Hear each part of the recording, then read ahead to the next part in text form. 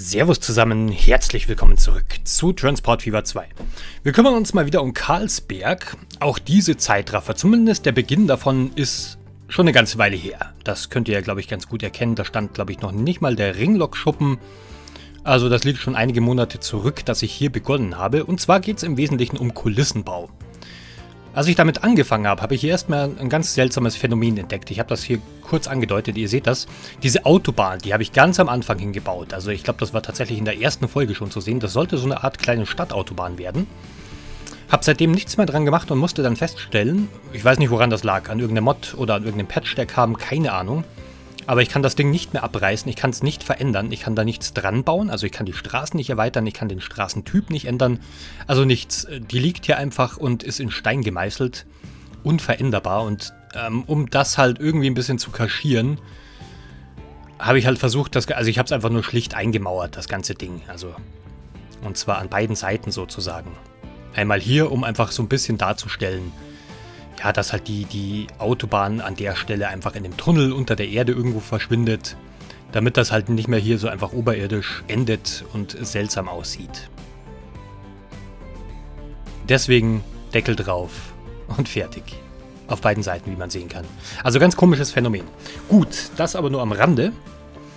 Ähm, wir machen mal mit ein bisschen Kulissenbau weiter. Und zwar, was auch oft in den Kommentaren vorgeschlagen wurde, irgendeine Art von Stadion, Arena, würde der Stadt gut tun, würde beiden Städten gut tun und das ist auch ein ganz gutes Stichwort. Also Königsburg wird auch noch ein Fußballstadion bekommen.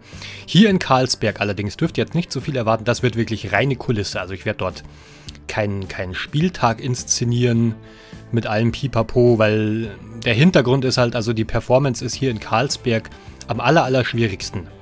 Auf der ganzen Karte. Das liegt halt einfach an der Größe der Stadt, denke ich mal. Und einfach an der Tatsache, dass hier echt viel los ist mittlerweile. Ich habe hier viele, viele Sims einziehen lassen und durch den Kopfbahnhof, der ja also sehr, sehr vielgleisig ist. Der hat ja fast 30 Gleise und die ganzen Linien, jeder Bahnsteig hat eine Linie bekommen. Hier fahren Züge ohne Ende rein und raus.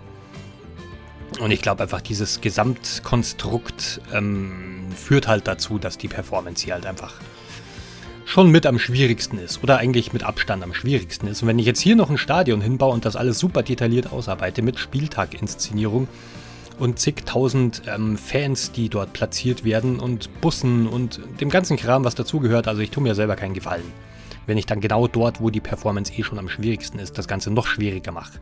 Und das Ganze nur für ein Fußballstadion, wo wir dann eine Folge mal irgendwie unterwegs sind, um uns da ein Spiel anzuschauen. Deswegen die Option lasse ich mir für Königsburg noch offen. Auch Königsburg wird ein Stadion bekommen. Da ist die Performance auch noch deutlich besser. Hat man ja, glaube ich, auch neulich in der Zoo-Folge gesehen. Also insofern, wenn wir nochmal Richtung Spieltagsinszenierung gehen, und das funktioniert ja wunderbar. Es gibt ja Einsatzfahrzeuge, man kann einen massiven Polizeieinsatz auf die Beine stellen und solche Geschichten. Dann wird das in Königsburg stattfinden. Aber auch das kann ich noch nicht versprechen an der Stelle. Schauen wir mal. Aber wenn, dann nicht hier in Karlsberg sondern in Königsburg. So, was entsteht hier noch? Ein ganz, ganz simpler Stadtpark. Auch direkt etwas größer gehalten, um einfach Fläche zu füllen. Reiner Kulissenbau. Alles sehr, sehr schlicht gehalten, mit ein bisschen Gewässer, bisschen Terraforming, so ein kleines Hügelchen angelegt. Dann kommt hier auch direkt der, der Funkturm, wird hier eingebaut und dann gibt es noch ein schlichtes Fußwegnetz, was durch den ganzen Stadtpark hindurch geht. Ein Parkplatz noch dazu. Und nochmal, wie gesagt, das ist, was heute alles stattfindet, ist wirklich alles Kategorie reiner Kulissenbau. Also ohne großartig Detailarbeit, vielleicht ganz punktuell mal ein bisschen was, aber einfach nur um die Stadt größer werden zu lassen. Mit möglichst einfachen Methoden und möglichst, also wenig, mit möglichst wenig Zeitaufwand, sagen wir so. Wenig Zeitaufwand, simpel gehalten, reiner Kulissenbau. Und ihr kennt das ja, also ich meine, die ganze Detailarbeit, das findet natürlich um die Hotspots statt, also sprich unten am Hauptbahnhof und alles, was sich um den Bahnhof herum befindet. Und je weiter man davon wegkommt, desto weniger detailreich wird es halt. Anders geht das auch einfach gar nicht. Also ist zeitlich gar nicht anders umzusetzen und aber auch natürlich, was die Performance angeht. Man muss halt Abstriche machen. Und mit dieser Mischung bin ich eigentlich bislang sogar sehr gut gefahren. Obwohl ich ja von Anfang an gesagt habe, ich werde sehr viel ausprobieren auf der Karte und ich werde wahrscheinlich auch versuchen, das Ganze mal ein bisschen auf die Spitze zu treiben. Mal schauen, wann die Performance wirklich merklich einbricht. Und man kann auf jeden Fall noch einigermaßen gut filmen auf der Karte, erstaunlicherweise.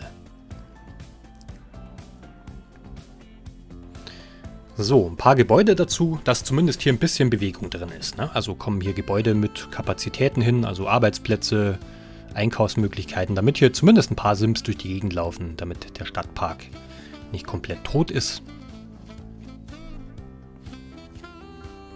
Also Texturen, paar Gebäude hingestellt, bisschen begrünt, paar von diesen Fußwegen reingezogen. Und recht viel mehr passiert hier auch nicht. Lücken füllen, könnte man sagen.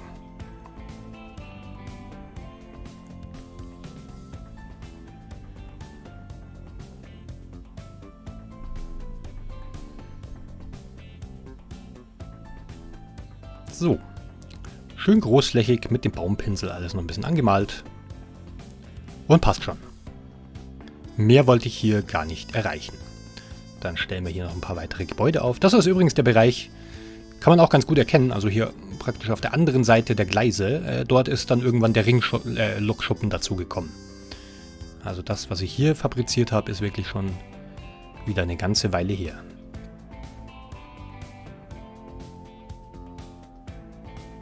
Und auch das. Komplett alles Kategorie reiner Kulissenbau.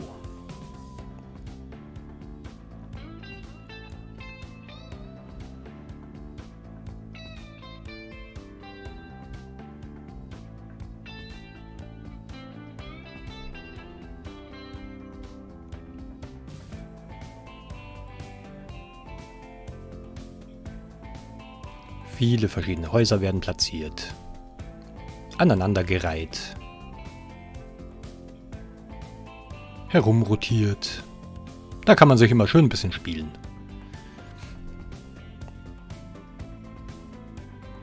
Bisschen Grünzeug dazu. Mal einen Hinterhof vorgenommen. Paar Garagen reingebaut.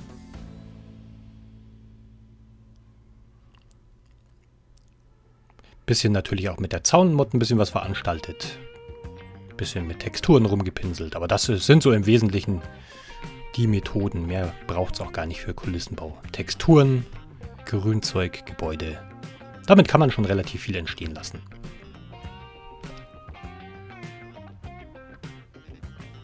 So, auch hier. Ganz, ganz simpel. Einfach irgendeine zugewucherte Brachfläche an der Stelle. Hätte sich vielleicht auch noch eine kleine Schrebergartenanlage angeboten, aber hatte ich keine Lust drauf. Ehrlich gesagt. Mal ein paar Einkaufsmöglichkeiten noch reingemischt. Hier einen kleinen Lidl noch hingesetzt. Bisschen angepinselt.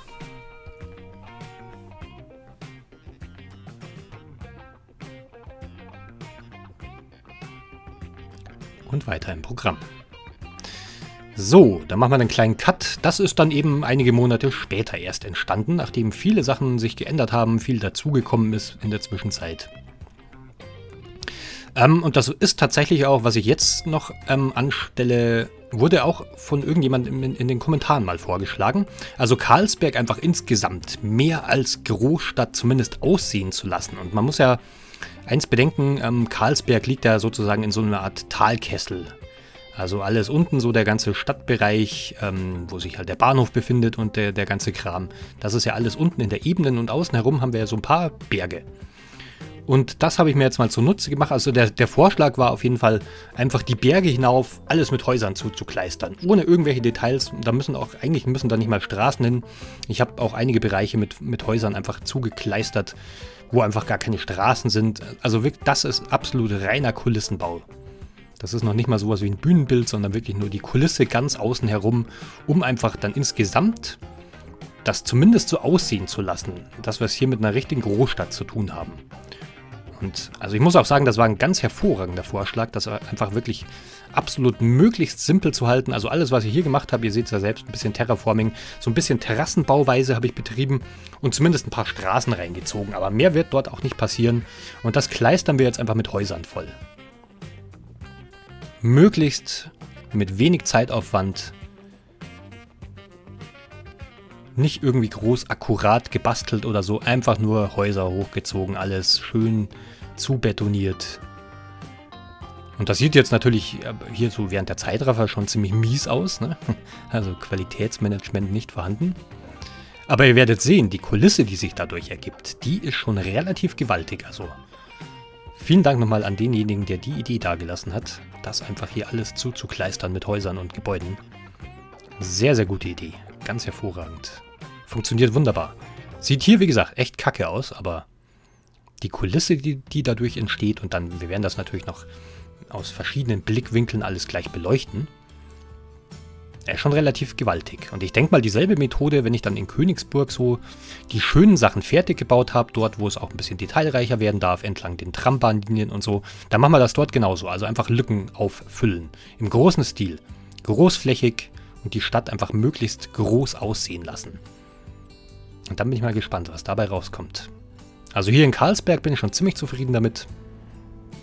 Und wenn wir das in Königsburg einigermaßen auch noch so über die Bühne bringen, dann wird sich da auch echt ein ganz anderes Stadtbild ergeben. Und auf die Art und Weise können wir das dann auch irgendwann wirklich zu einem würdigen Abschluss bringen, weil was immer total abschreckend für mich war, ach du Scheiße, noch eine Großstadt, Königsburg habe ich ja auch noch vor der Brust und das alles noch in einer vernünftigen Dimension darzustellen, also ich glaube, da geht mir auch einfach irgendwann die Luft aus. Aber so mit diesem Kulissenbau alles ganz simpel gehalten und am Schluss, wenn wir diese ganzen Sachen so wie Zoo, Einkaufszentrum, Flughafen, Fußballstadion, wenn das alles steht und alles nett aussieht, dann kleistern wir den Rest einfach mit zigtausend Gebäuden voll. Und hier kann man schon ganz gut erkennen, glaube ich so, dass das auf jeden Fall eine nette Kulisse wird.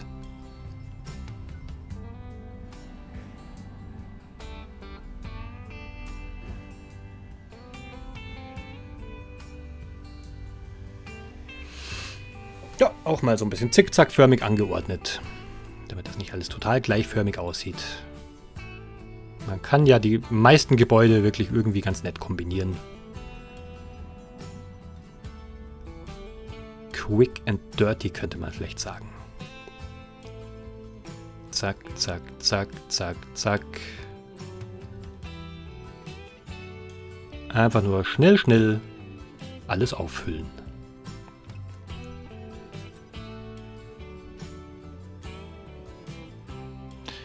So, und das war es im Wesentlichen auch schon. Ich habe das Ganze noch ein bisschen weitergetrieben. Ich denke mal insgesamt, äh, das waren glaube ich, ich habe mich zweimal dran gesetzt und dann ist das vielleicht insgesamt eine, eine Stunde Aufwand gewesen.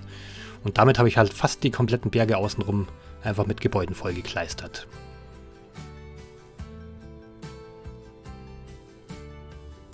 Hier kann man schon ganz gut erkennen, diese ganze Kulisse und das schauen wir uns jetzt natürlich noch alles ein bisschen im laufenden Betrieb an.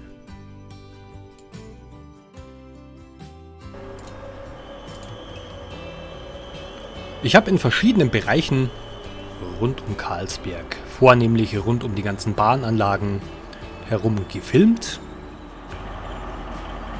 und dabei halt geschaut, dass immer ein bisschen was von dieser neu dazugekommenen Kulisse mit im Blick ist. Also nochmal, vielen Dank nochmal für die Idee die in den Kommentaren aufkam, das genau so umzusetzen. Das war halt also wenig Zeitaufwand oder sagen wir vergleichsweise wenig Zeitaufwand, aber halt ein Rieseneffekt einfach dadurch. Also ich denke mal, jetzt kann man wirklich sagen, das ist jetzt ja schon eine einigermaßen überzeugende Großstadtkulisse. Vorher war das ja nicht so wirklich der Fall. Ich meine, das sah schon immer ganz nett aus hier. Aber ich habe natürlich die Perspektiven auch einfach ein bisschen enger gehalten. Also immer mehr auf die Bahnanlagen fokussiert und die Gebäude schon auch immer so ein bisschen im Hintergrund, aber vorher war es ja eben so, wer sich erinnern kann an die letzten Aufnahmen hier aus Karlsberg. Die Berge praktisch außenrum, die waren halt einfach nur begrünt. Und dadurch war halt einfach also der, die Ausdehnung der Stadt schon sehr, sehr stark beschränkt.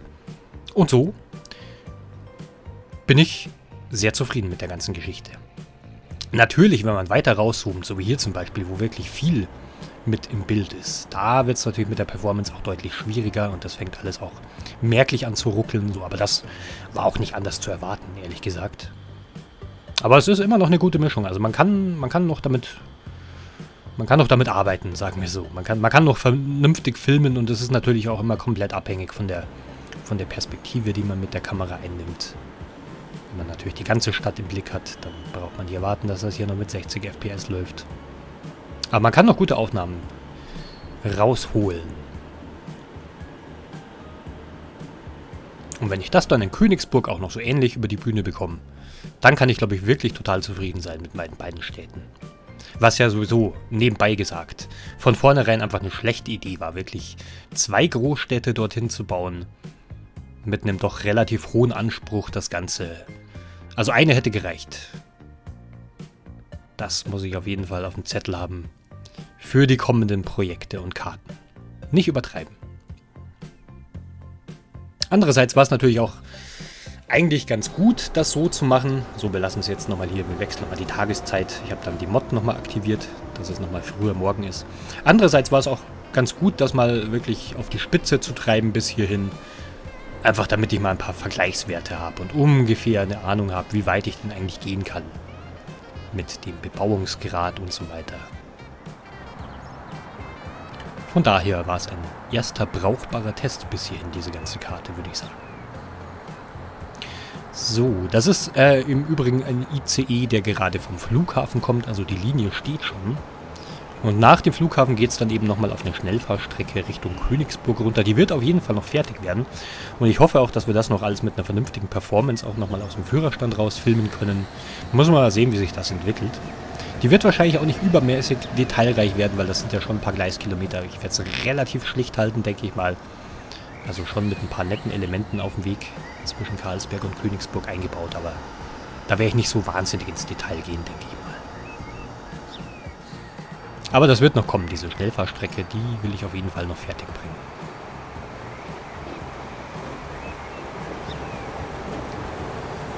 Ja, ja, bunt gemischter Zugverkehr hier am frühen Morgen. Hier nochmal ein weiterer Blick aufs Betriebswerk.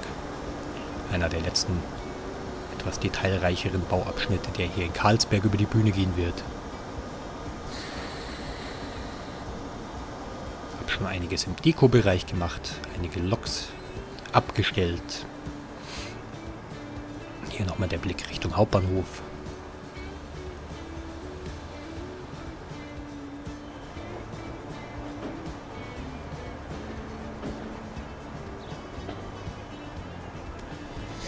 Jo, kann sich alles sehen lassen, denke ich mal. Ich bin mir immer noch nicht sicher, ob mir Karlsberg oder Königsburg besser gefällt. Königsburg ist die Stadt vielleicht insgesamt ein bisschen schöner geworden, aber Karlsberg hat halt diesen schönen Hauptbahnhof. Vielgleisig und als Kopfbahnhof. Und der wunderbare Railjet. Hier nochmal ohne Diesellok. So wie er sein soll. Ich glaube, den Taurus habe ich nochmal gewechselt, weil da gibt es ja auch zig verschiedene Varianten. Ne, wobei, der hat, der hat den Standard Railjet hier hinten dran. Ah, das ist, genau, das hier ist der. Im Hintergrund. Das ist auch nochmal ein Neuzugang. Also einfach nochmal eine andere Farbgebung von dem Taurus. Das ist hier, glaube ich, Brennerbahn oder sowas in der Richtung. Auch so eine Werbegeschichte, Sonderlackierung. Dann hier diesen ähm, italienischen Fernverkehrszug, den habe ich nochmal ein bisschen anders durcheinander gemischt und den Steuerwagen weggenommen. Das kam auch in den Kommentaren. Und das stimmt auch, es braucht nicht jeder Intercity, braucht einen Steuerwagen hinten dran. Hier einfach mal nur als also klassisch nur mit Lok bespannt. Internationaler Fernverkehr.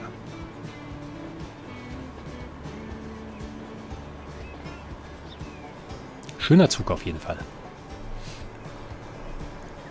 So, dann hier, genau, 150 Jahre Brennerbahn.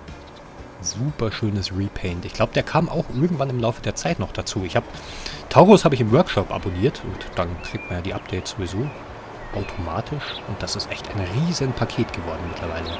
Und alles genau in dieser Qualität. Also Taurus ist absolut top. Ja, noch ein bisschen mehr. ÖBB, den kennt ihr ja schon. Der ist jetzt auch schon eine ganze Weile hier im Regionalverkehr unterwegs schöner City Shuttle Doppelstock mit 1144 bespannt. Bisschen, bisschen Zugverkehr am Hauptbahnhof am frühen Morgen hier. Einfahrende Züge, ausfahrende Züge. Das sind aber schöne Momente, wenn gerade wirklich richtig viel los ist. Dann lässt sich hier wunderbar filmen.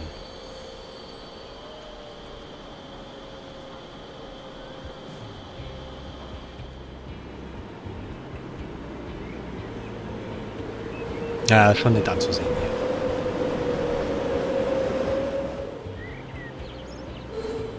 So, die beiden Kollegen nochmal, die ich hier unter der Brücke platziert habe.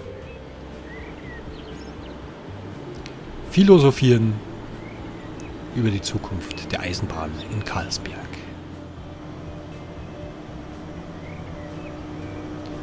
So, der hat jetzt auch hier ein grünes Einfahrsignal bekommen. Schaut super aus, die Lok, oder? Also, ist, glaube ich, fast mein Favorit hier, diese Brennerbahn-Geschichte. Sieht schon verdammt gut aus. Und der Railjet, muss man auch sagen, also am frühen Morgen, wenn der hier so aus dieser Perspektive von der Sonne angestrahlt wird, von der Seite. Ah, ja, schon ein Schmankerl. Hier nochmal eine andere Variante. Galileo, glaube ich. Sonderlackierung.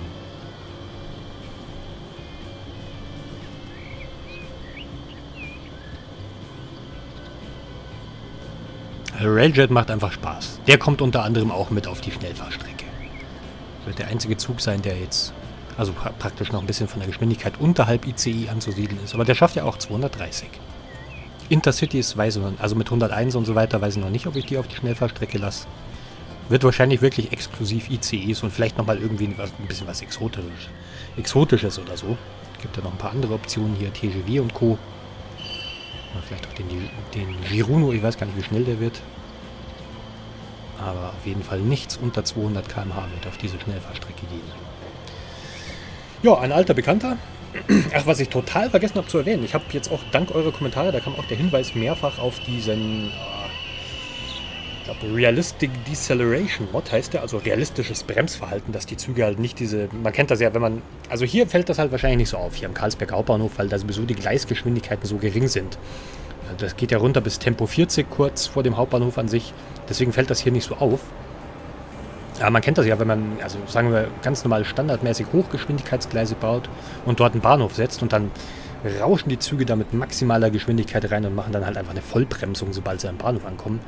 Also das sieht halt einfach, also das wird niemandem gefallen, glaube ich. Ähm, außer man legt den Fokus des Spiels einfach nicht auf solche Dinge. Ähm, aber ich habe eben diesen, diesen Mod jetzt installiert mit der realistischen Bremsgeschwindigkeit, dass die halt, ich weiß nicht, die werden früher anfangen zu bremsen, nehme ich mal an. Ich habe das noch nicht so richtig beobachten können, weil ich jetzt bislang eben nur hier in diesem Bereich unterwegs war. Und wie gesagt, da fällt das nicht so auf. Aber ich glaube, auf, auf offener Strecke, dort wo ich halt Bahnhöfe habe, die einfach also praktisch irgendwelche Durchgangsbahnhöfe auf einer Strecke, die eigentlich recht hohe Gleisgeschwindigkeiten hat. Da muss ich mir das mal in Ruhe anschauen und, und da wird es wahrscheinlich schon sehr, sehr deutlich dann zum Vorschein kommen. Diese Geschichte mit dem realistischen Bremsverhalten, auf jeden Fall eine super Idee, das mal einzubauen. Ich werde das noch beobachten und werde natürlich auch entsprechend noch Videoaufnahmen anfertigen. Und dann kann man sich das vielleicht auch ein bisschen einfach sparen, dieses ganze Gebastel mit den Gleisgeschwindigkeiten. Also kurz zur Erklärung, wenn ich jetzt irgendwo so einen Bahnhof auf offener Schreck Strecke habe, dann mache ich es ja in der Regel so, dann gehe ich von der Streckengeschwindigkeit, sagen wir mal 140 km runter, dann geht es auf 120, dann kurz im Bereich 100, dann 80 und dabei lasse ich es dann ungefähr, damit die Züge halt zumindest ein bisschen abgebremst werden. Aber es halten ja auch nicht unbedingt immer alle Züge an allen Bahnhöfen. Also dann haben wir halt auch durchfahrende Züge und auch die werden halt immer auf Tempo 80 erstmal runtergebremst. Und das kann man vielleicht umgehen, eben wenn man diese Mod dann installiert hat, dass die Züge trotzdem irgendwie eine vernünftige Bremsung hinlegen und alles, was durchrauscht, muss halt vorher nicht abbremsen, sondern kann da mit Streckengeschwindigkeit durchflitzen. Also schauen wir mal, ich werde mir das alles noch schön in Ruhe anschauen. Und ich glaube, das ist eine ziemlich coole Sache. So, jetzt kommen wir hier auch schon langsam zu den größeren Perspektiven. Ich bin da mal ordentlich ein bisschen weiter rausgegangen mit der Kamera sodass man auch wirklich diese ganze Kulisse nochmal im Hintergrund mit im Blick hat. Da sieht man natürlich auch wieder, dass es deutlich anfängt zu ruckeln in einigen Bereichen. Aber wie gesagt, das war total zu erwarten. Es ist ja auch durchaus schon ein bisschen massiv hier alles geworden. So ist es ja nicht. Das ist jetzt eigentlich sogar schon der Vorort hier links unten im Bild. Also das ist jetzt auch so ein bisschen mit dem restlichen Stadtgebiet zusammengewachsen. Hier sind wir mal noch auf der anderen Uferseite, wo die Nautalbahn entlangläuft. Rechts dieser Schienenabschnitt, das ist ähm, der Bereich Richtung Dieselstrecke. Hier sieht man noch ein Stückchen von der Dieselstrecke. Also wirklich aus weiter Entfernung jetzt nochmal gefilmt, damit man die ganze Stadt im Hintergrund nochmal hat aus verschiedenen Perspektiven. Und das ist schon geil. Und gerade so jetzt die Kombination mit diesem Mod am frühen Morgen, diese ganze äh, Morgenstimmung, Beleuchtungsgeschichte, das, diese Kombination mit der Kulisse, mit der Stadt, die praktisch so die Berge hochgewachsen ist, so trichterartig so ein bisschen. Schon geil. Schon geil, muss ich sagen. Na schön. Dann widmen wir uns abschließend für die letzten paar Minuten nochmal ein bisschen was anderem. Kleiner Ausblick auf die Fliegerei. Das ist natürlich auch, wenn man wirklich schnellen Flugzeugen mit der Kamera folgt, dann wird das schwierig werden mit der Performance, aber ich versuche schon, das auch nochmal in ein paar Folgen so ein bisschen in den Fokus zu nehmen und dann halt solche Bilder hier zu liefern. Und stelle ich mir schon cool vor. Ich habe ein paar Mods installiert, also ein paar Flugzeuge, also was, was ich im Workshop gefunden habe, so an, an dicken Pötten, sage ich mal. Die größten Flugzeuge, die ich gefunden habe, habe ich jetzt mal auf die Karte gebracht. Und die fliegen hier so in der Gegend rum und das sieht dann ungefähr so aus. Und ich glaube auch, das ganze Thema Fliegerei, das wird uns noch ein paar nette Folgen bescheren. Wer links im Bild ganz genau hinschaut, das sind jetzt wo es der aktuelle Ist-Zustand des Karlsberger Flughafens. Wird sicherlich nicht mega detailliert werden, das Ganze. Aber es wird auf jeden Fall ein Flughafen mit Schienenanschluss, Zubringer S-Bahn, direkter Anschluss an den Fernverkehr und ähnlich wird sich das in Königsburg dann auch gestalten. So, auch hier die 757 müsste auch aus dem Workshop sein.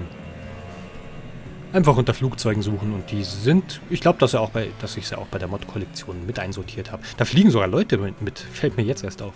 2 von 50, okay, ist vielleicht ein bisschen unwirtschaftlich und vielleicht auch hinsichtlich Klima nicht ganz so geil, aber es fliegen immerhin Leute mit. Das ist übrigens ein Frachtflieger hier, mit dem werdet ihr jetzt auch gleich entlassen aus der Folge.